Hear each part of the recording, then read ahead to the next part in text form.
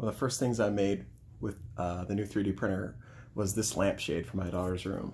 It uh, is a model that I found on Thingiverse, and it has um, these ribs that come down it, and it's a really cool shape.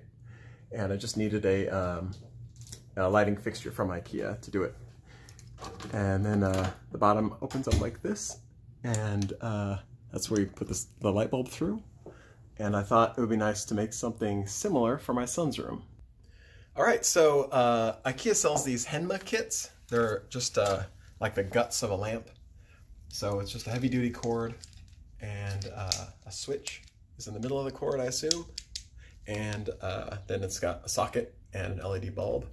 The socket uh, has a, uh, a little sleeve that comes off. So if you can 3D print anything, it'll have with this uh, correct size hole, then you can slip this on or through, and then you'll basically make anything into a lamp.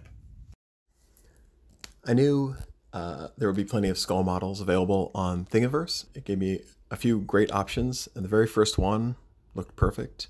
It had uh, not too many facets, not too many, too much detail, but uh, seemed like it'd be great so I downloaded a zip file and got the STL file out of it.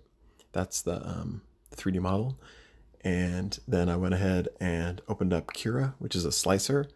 That's the program that takes your 3D model and slices it into um, a bunch of thin layers that your 3D printer can put down one layer at a time. In Cura, I scaled up the model. I'm guessing that the original is about the size of a real human skull. And uh, so I scaled it uh, to 140%, uh, which was pretty much the largest that my 3D printer could handle at like 28 centimeters across.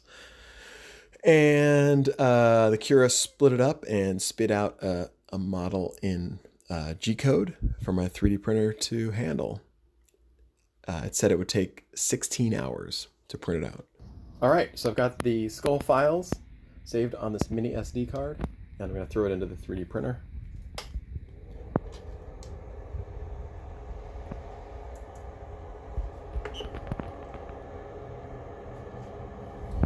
And uh, it should take a whole lot of hours. All right. I'll see y'all soon. Holy shit, look at this thing.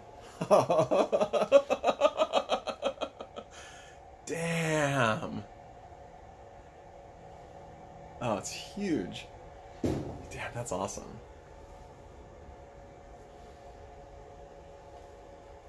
Oh, it's gonna be spectacular. I want to start printing another one right now. It's just huge.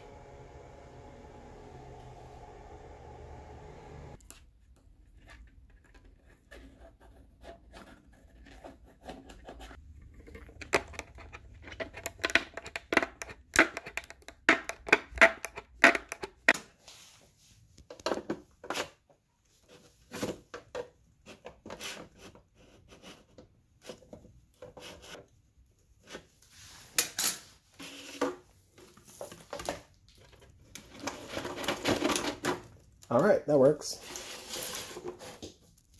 I found this measuring cup and this light bulb uh, fits in pretty well. So I'm gonna try to heat this, the rim of this measuring cup out and then uh, using it, uh, I'm gonna melt a hole through the base of this skull. All right, I got this cup measure heating up to a ridiculous temperature and then I've uh, got the skull uh, here. I want it to be sturdy so I'm probably going to use some duct tape and tape that down.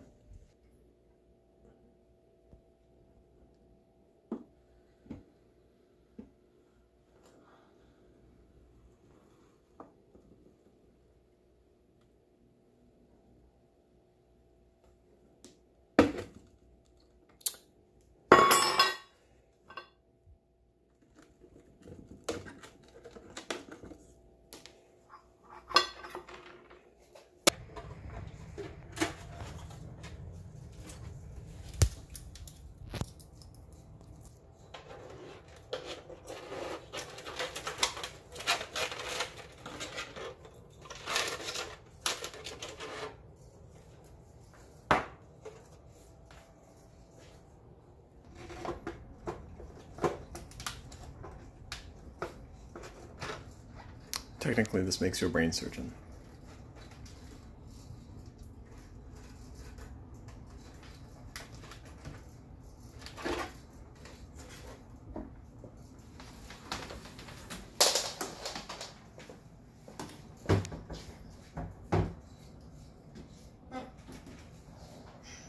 Nice. Plugging that in, make me an engineer. Uh, will you see how it hangs if you hold it up by the light switch, uh, by the light cord? Oh, nice. I love it. Yeah.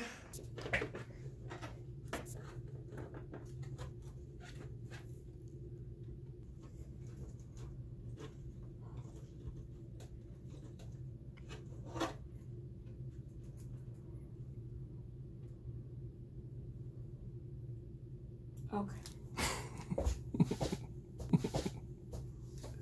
Will you turn off the light?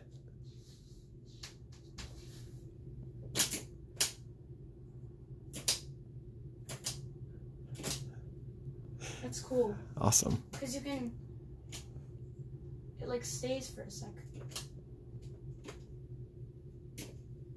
You see that? Yeah.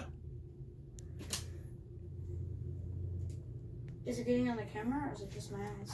Yeah.